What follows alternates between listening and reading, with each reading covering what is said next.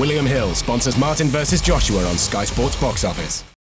Radio Raheem here with Jamie McDonnell, uh, bantamweight champion. You know, you're one of the few people bringing a belt into the ring on Saturday night, and not only are you a defending champion, but you're facing a guy that you didn't expect to be facing in Fernando Vargas.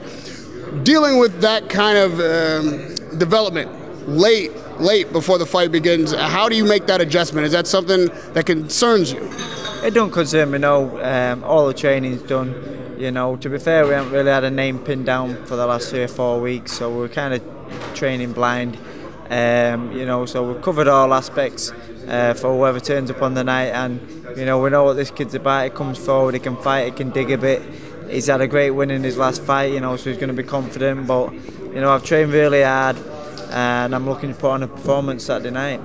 You know, uh, as far as world titles go, we've got one on the line in the heavyweight bout, but really, you're the guy coming in with the other one.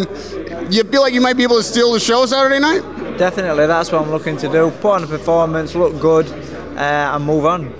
You know, the bantamweight division is one that doesn't get a lot of attention unless somebody's really making noise there. You could be that guy. What do you think it takes to bring the spotlight down in the weight divisions and get the fans to focus on what's happening in, you know, bantamweight? Yeah, um, obviously, you know, I had two great fights in America, uh, beat uh, Tomoki Kameda, you know, undefeated prospect, you know, he had the WBO world title.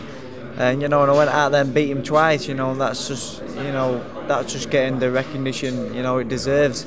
Uh, it's getting my name out there, you know, and just to be in great fights, big fights, you know, what, you know, make the, the general public notice, uh, you know, me at bantamweight. So hopefully, you know, just keep doing what I'm doing, and notching the wins, um, you know, and we move on.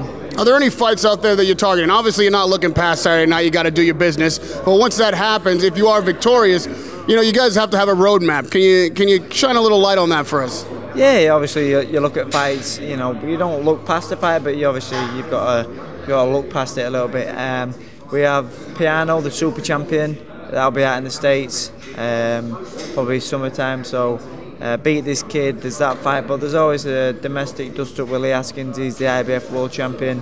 Uh, it's another big fight, great fight. Um, you know, so get this fight won, and we sit down uh, and we see what uh, path we choose. You know, I'm well beyond a bantamweight, and you're damn near standing eye to eye with me. You're a pretty big bantamweight, man. How, does that advantage you in there? Do you feel like you, you feel big in there? I do, yeah. You, you feel like you can overpower him. You know, I'm very tall for the weight. You know, so for someone you know, short to get near me, they're going to have to do, I don't know what they're going to have to do. Uh, that's why, you know, I'm undefeated as a champion, but uh, like I say, I feel a million dollars and uh, looking forward to putting on a real good display. Those fans who are maybe buying a ticket for Anthony Joshua and uh, want to see him win that title, and uh, we'll see you earlier in the night. When that bell rings, when your fight's over, what are they going to be saying about you? They're going to be saying, you know, this kid's the real deal. Uh, obviously, the kid's coming in at late notice, but he's a good quality kid.